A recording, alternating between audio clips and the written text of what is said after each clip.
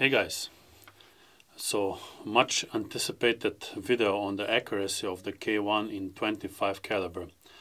Uh, I have been getting a lot of requests for this video and I must honestly say that I'm doing it slightly before I really feel comfortable of sharing this information but since the request was so high I decided to do it anyway at least what I have till now.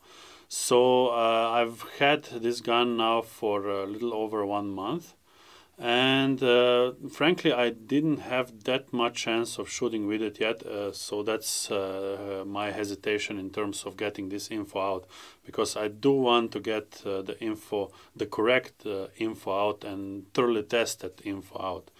So um, I mentioned uh, uh, in the first part of the video already what is different between the let's say older uh, 22K1 and the newer 25. Uh, uh, what I learned at IWA is that uh, the changes that, uh, that I have mentioned, of course, all of them except the caliber, are actually also made on the newer versions of the 22 series. So you have the monolith uh, uh, clamp and the Picatinny rail.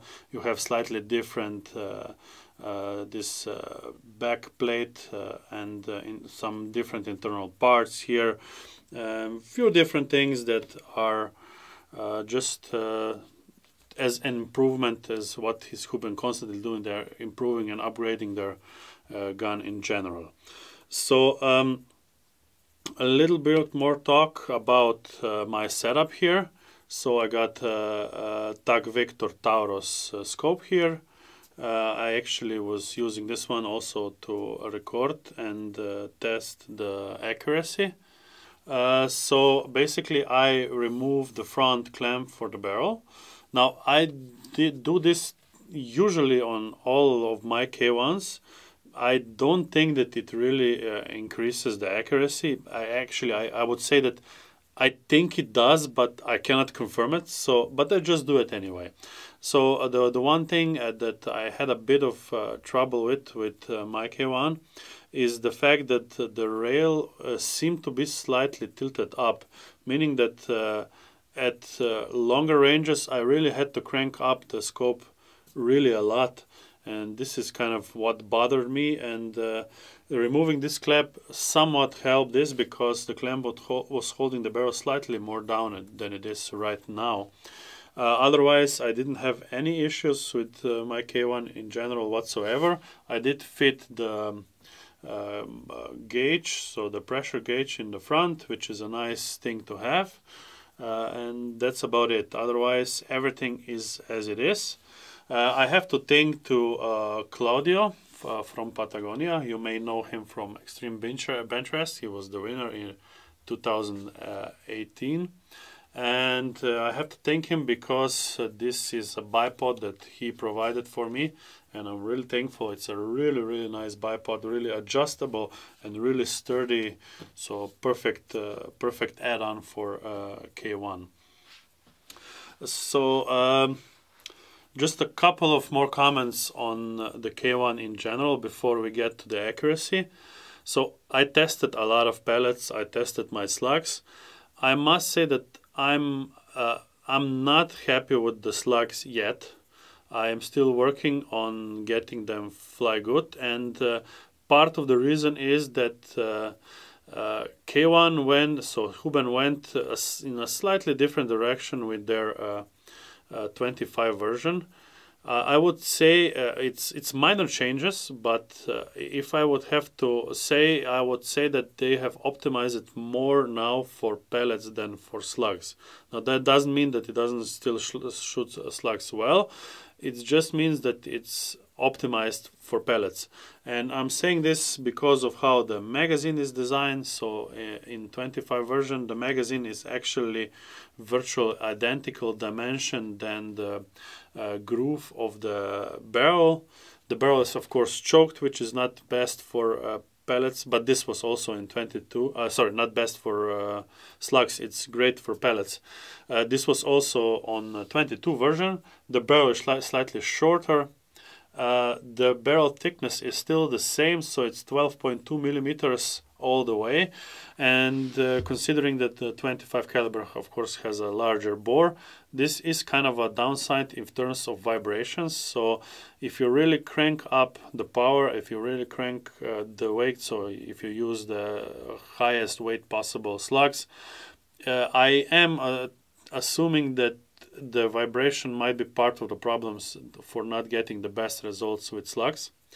Uh, and um, I do intend to experiment in this regards quite a bit in the future and of course I will make uh, videos of those.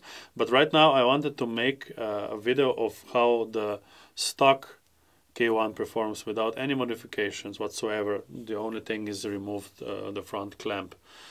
Um, uh, so uh, that is why uh, uh, uh, most of the tests that you will see in this video are made with pellets. And the other reason is because I simply didn't get to test that much and the weather was just crazy. The wind you will see in the videos was so high that I didn't dare to go further than 50 meters. And I did most of tests on 50 meters and I did a very short clip also with pellets at 100 meters on the silhouette. So uh, you will see this uh, in the at the end of the video.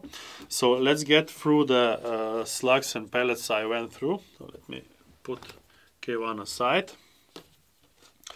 So we've got it from your left to right the pellets that are best to pellets that are worst I mean the I mean let the, let's say the less section is it doesn't mean that uh, this one is worse than this one. It's just kind of they're all not very good. But in terms of best, definitely right now King Heavy is your best best option.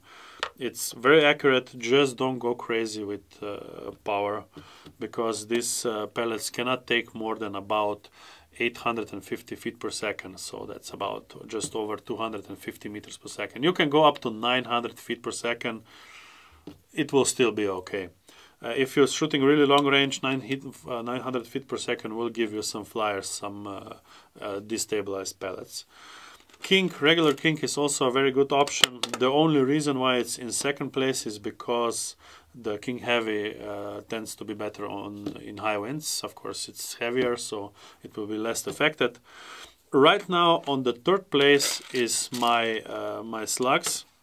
So these are the uh, MP molds, 48 grains, and we will get to the settings on the gun in a minute for a different kind of pellets.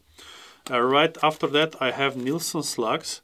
Now, it's very important to um, so these are the 39 grains. It's very important for me to say that these are not designed for Huben so that's otherwise they will probably be uh, much uh, higher on the list uh, because the dimension is a little too small. As you may know from the 22 caliber Huben requires to have slightly larger pellet slugs because it has actual chamber for it so it doesn't uh, because it shoots out of the magazine so it's not inserted in the barrel. So these are designed to be inserted in the barrel so that's why they are a little lower. I have uh, high hopes for Polymex and they were actually quite good uh, but I would have to test them more because the wind was just too high and uh, also I would have to test different velocity. Yunjin were reasonably well. I, I, was hoping to be for them to be more accurate. Um, Baracuda uh, Hunter. Now both Baracudas are actually not really stable. Uh, I mean they can be stable but you will have flyers. Uh, if you have to use either one of them, it will probably be Hunter because it's uh, the expansion uh, type, so the, the hollow point version, uh, probably for you hunters out there. And in the end, uh, we got the field target trophy. These were also reasonably good, but it's too light. For this gun, it just makes no sense. Uh, and the Grizzly, which is actually I don't think it was ever accurate in any of my guns, so I don't uh, like it that much. I will definitely have more pellets, more slugs to test, mainly slugs probably, and uh, also some mods to be done. So let's go through the power.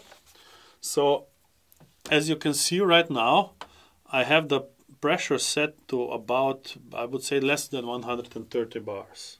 Yeah so let's let's say 130 bars. And this is more than enough for any pellet. So meaning that for pellets you need to use low pressure. And all of even the heavier pellets this will push it up to 300 meters per second. You don't want to do that of course because the pellets will not be stable probably. Uh, but it's more than enough power. If you use however my slugs then you will need to increase the pressure to 200 bars that's nowhere getting lower than 200 bars um, a colleague of mine did made some mods to it that uh, it uh, kind of uh, enables you to get even higher powers. Uh, I haven't done any mods yet. I will probably in the future.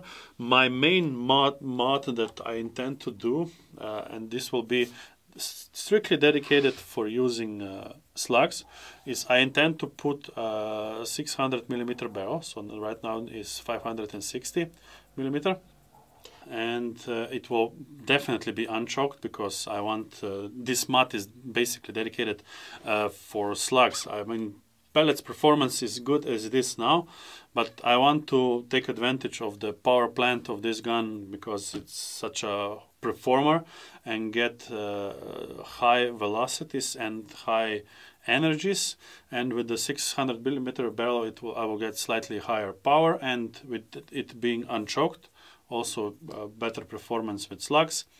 Uh, and uh, the last thing is I want the barrel to be thicker from here on. So I don't think that uh, uh, such high energies and such heavy slugs can uh, be shot accurately out of the thin barrel that it is uh, inside right now.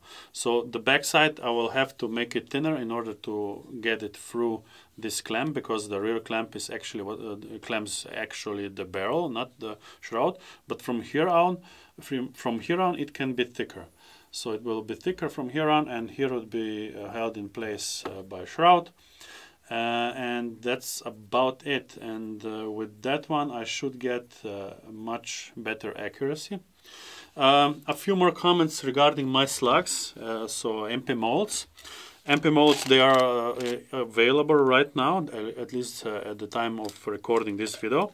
So um, you can order them. I asked Miha, which is CEO of the MP molds, I asked him to optionally also include a sizer because uh, as uh, some of you already noticed, uh, these pellets are quite hard to, slugs are quite hard to push in the magazine. So the size of the sizing die will be actually 5 point, sorry, 6.45 millimeters so if you don't uh, want to order it, you can order without it. And if you already have it or you can get it locally, of course you can get it. So the dimension is 6.45 millimeters. And uh, by using uh, that sizing die, you can actually put the slugs in with no effort at all. So I can show you this right now. Uh, by the way, I'm getting really good feedback about those slugs, not just in Huben, also in other guns. Uh, so this is very easy to put inside, no effort whatsoever.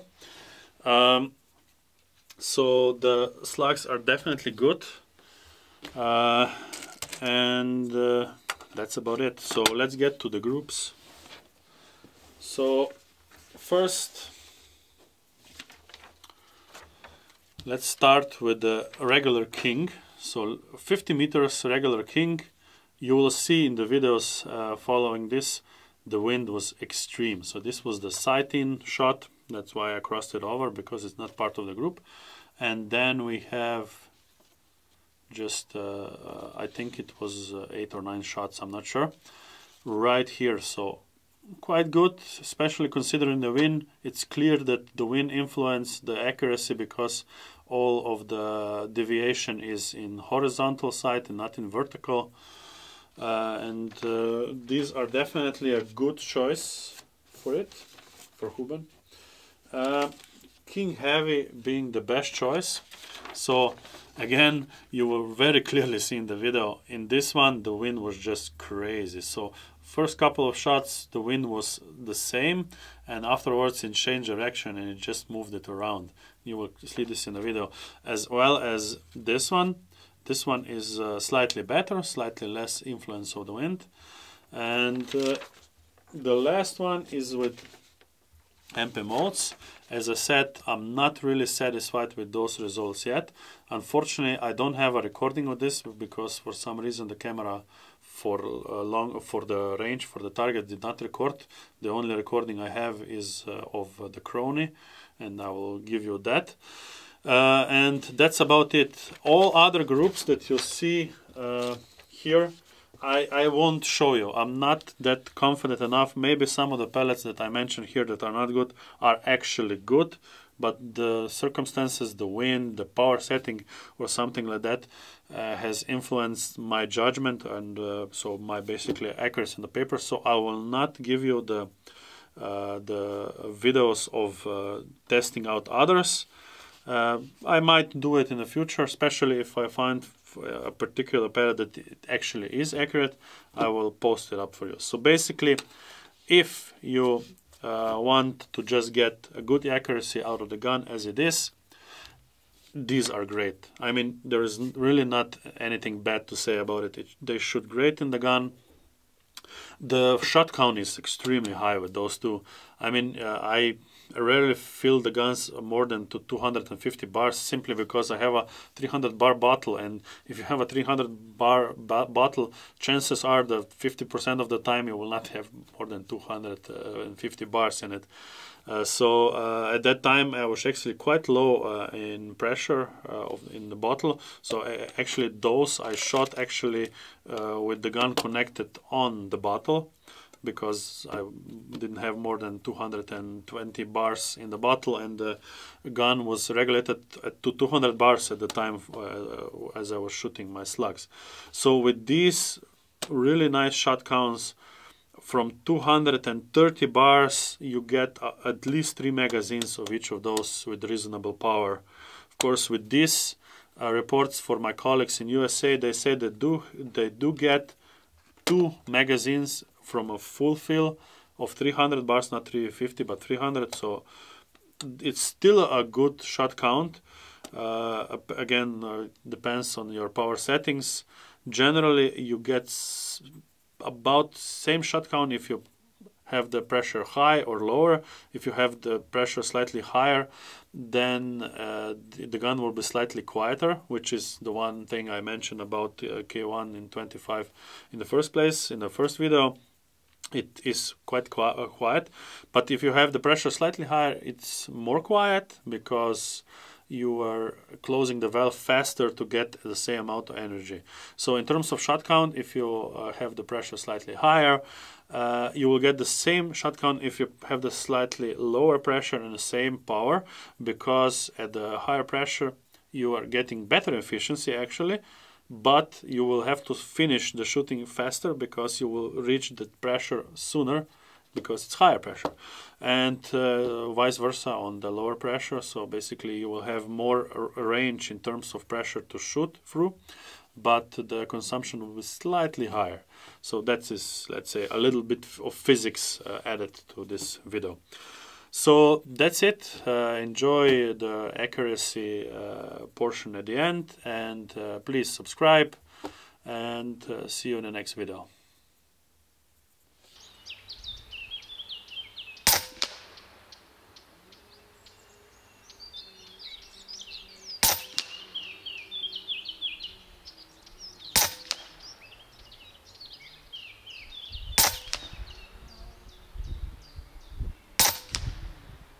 yeah the wind is picking up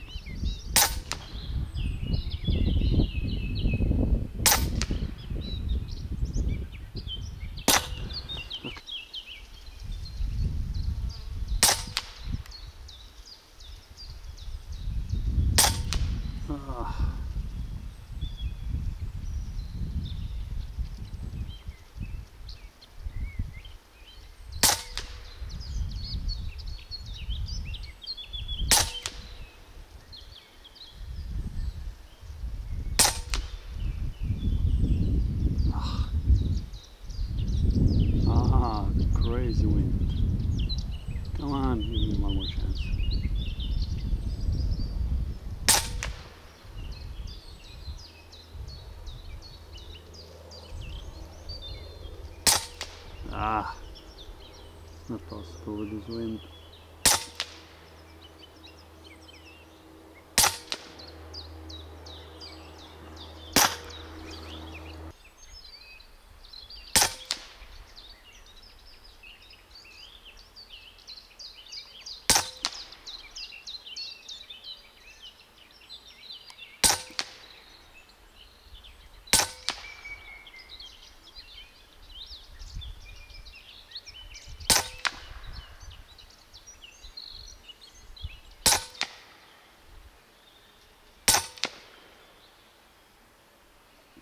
I'm out.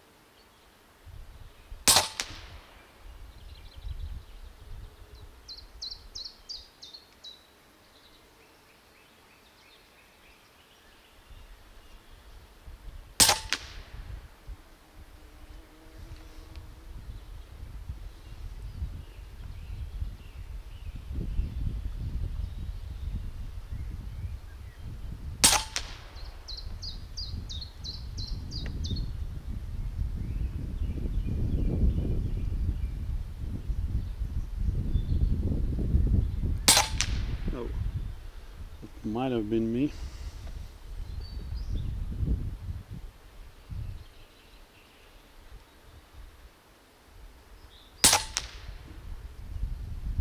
The wind.